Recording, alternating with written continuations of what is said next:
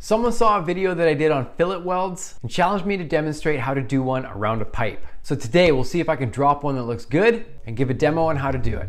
My name is Dusty and I'm a welding artist from Vancouver Island, Canada. On my YouTube channel, it is my mission to teach and show off the possibilities of TIG welding. And I want to show it to all the positive people in the welding industry who love TIG welding as much as I do. So join me for my mission on my channel and let's get welding.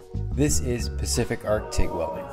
So I have an older video on my channel where I demonstrate how to do a fillet weld. I actually think the one that was commented on was a stainless steel fillet weld. And I actually don't even know if I have one on how to do a fillet weld with aluminum TIG welding. Maybe I should jump back and redo that video as well.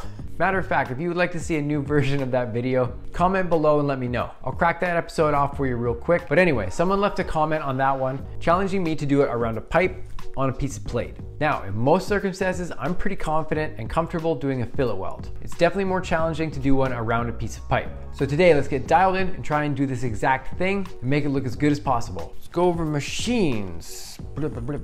Okay, we got Everlast 255 EXT running here. Turn the water cool off because it's a little bit quieter. With only this fan going. But this is it. It's a pretty simple setup. We're just running advanced square AC. Even though we're running 200 amps, I don't think we're going to use all of that at all. I'm to be running the foot pedal, obviously, so that will dictate how much of the 200 amps I use. But that's it. Rolling through the menu here. 120 hertz, 31. I don't know why it's 31.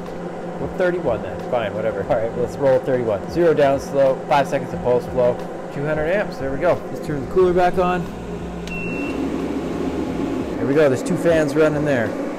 So doing a fillet weld is a really fun one to learn. This is one of the joints I teach in my online training program. I have a link to that in the description below. Check it out if you're interested in me teaching you how to TIG weld. But just a quick breakdown, Learning a fillet weld in a straight line, in my opinion, is much easier in a straight line than going around a surface like a pipe. When you're doing it in a straight line, obviously, you have straight lines to follow. And it's pretty easy to see when you're doing this one if you're doing it correctly or not. When you try and do the same weld around a piece of pipe, however, things become a little more difficult. We lose our straight line, so it's a little more difficult to stay consistent with the profile of the weld. Another thing that's much more difficult than doing it in a straight line it's much easier to maintain consistent torch and travel angle as you move across a straight line. Doing it around a pipe, however, is difficult because nowhere on the surface is there a flat edge or anything that's straight. Your angle will change constantly as you go around it. Everything is always going around a corner, so no matter how comfortable you get in that position, as soon as you advance from your starting point, you already have to make corrections to your angles. Something I do with this one is I always plan ahead.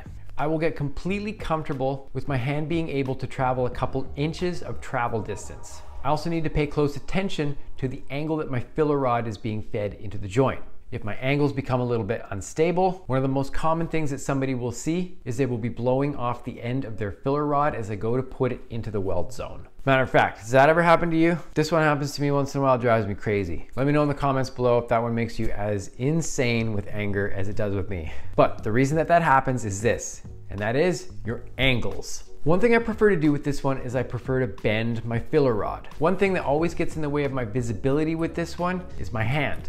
So for anybody who's fresh on this one, just learning it for the first time, you may notice that your filler rod hand is a little bit fumbly and may get in the way. Bending your filler rod allows you to keep your hand more out of the weld zone, thus keeping it out of your line of sight a lot better and helping out with visibility. I actually did a video on this one. It mostly covers visibility and how to position yourself so you can see around your filler rod hand and how to take care of any problems when learning this. That video is right here. I'll put a link to it in the description below. Be sure to check this one out. So once I'm sure I'm able to travel comfortably and I can maintain an adequate angle with my filler, it's time to party. Okay, so the most important part of any weld, I say it all the time, is the start. I've already given it a little bit of filler rod here. Now it's time to just fill and chill. We'll let that thing heat up as much as it needs to before we start moving.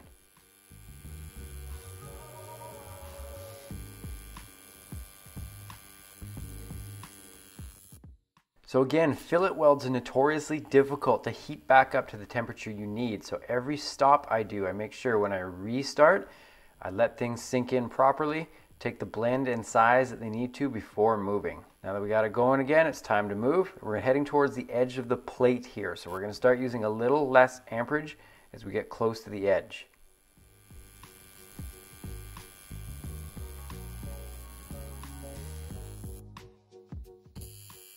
So again, even though things are hot because we're on the edge of the plate, I'm gonna make sure that we chill out long enough and we get the profile and size that we need of the weld before continuing. Now that things look the way they should, I'm gonna start moving again. As you can see here, I have bent my filler rod. My filler rod is bent so I can sneak around the corner, also sneak around the camera. a little view from over top there. Nice pass. What's typical with these joints is a lot of people throw a lot of heat at them to get them heated up to the size they need. But what's more important is just taking a little bit of extra time at each start. This way you can use less heat and it will get to the size that you needed to with a little more patience. So the view from above here, what I'm doing is I'm actually looking at the bottom line, so the gravity affected side of the weld. Your weld is obviously going to want to get pulled to the lower side because that's the way gravity is pulling it. So I'm going to keep a really close eye on this bottom line to make sure that none of the puddles dart out and get pulled out by gravity further than the ones previous to it. We want to keep them all the same as we come around the corner here to finish it, that's that. Okay, so now it's cold, let's take a look. Overall, we see a pretty good finish. We see everything nice and shiny for the most part, which is what we want. Usually with stuff like a fillet weld, one of the telltale signs of how your heat was, was reading your cleaning action. If your ring of cleaning action was pretty much even the whole way around, that means the amperage that you used was pretty much bang on. I had a good angle because we had equal cleaning action from top to bottom, that's pretty good. Obviously you see a little bit of puff here and there as we did our start stops. Looking at it from the top here, we see a pretty good profile. We see a nice round profile to our bottom edge here, which is what we want. We don't want any puddles darting out further than others. And for the most part, they all look pretty consistent, so that's good. I see my stepping distance pretty equal from each step. We have enough filler that we get good puddle definition so we can see each dab clearly, especially around this side here. This was some of the best stuff here. By this point, it was nice and hot. Everything had blended in really nicely. And as you can see, each step is clearly defined with good puddle definition. So that's what we want. Flip it over. You can see we did punch through a little bit, but for visual inspection, this guy looks pretty consistent. I'm pretty happy with it. And then as far as button placement at the end, I made sure my button was centered properly. The button didn't hang out too low. It didn't raise up too high. Overall, the reinforcement of it is pretty consistent to the rest of the weld. Look at that, nice and shiny. Exactly what we want.